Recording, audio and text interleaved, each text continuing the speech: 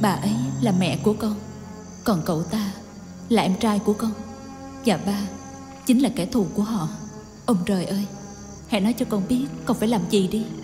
Mẹ của con, Người đàn bà bị điên trong kia, Là do ba của con gây nên. Còn mẹ Lại là nguyên nhân khiến cho ba con phải đi cướp.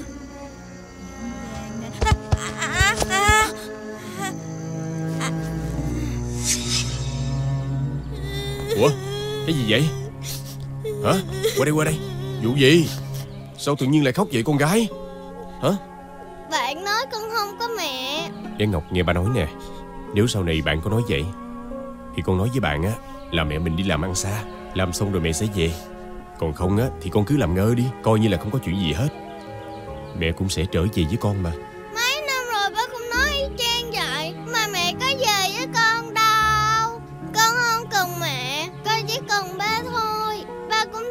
con nha ba. Quãng thời gian thơ ấu của tôi Là khoảng thời gian của sự tổn thương Thiếu vắng tình thương của ba mẹ.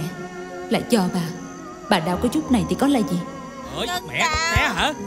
té Con đã dặn Con đã dặn rồi đừng có đi tới đi lui.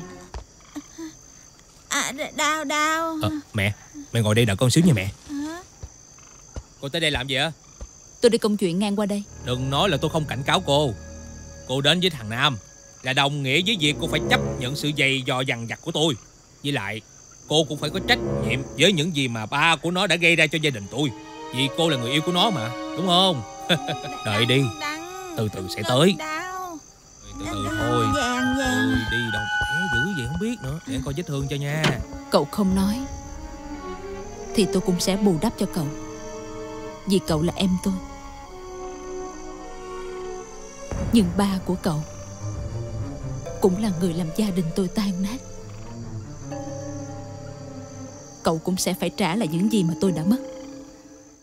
Vì cuộc đời là niềm tin khát khao, vì cuộc đời có gian khó thăng trầm, ta vươn cao đôi tay ta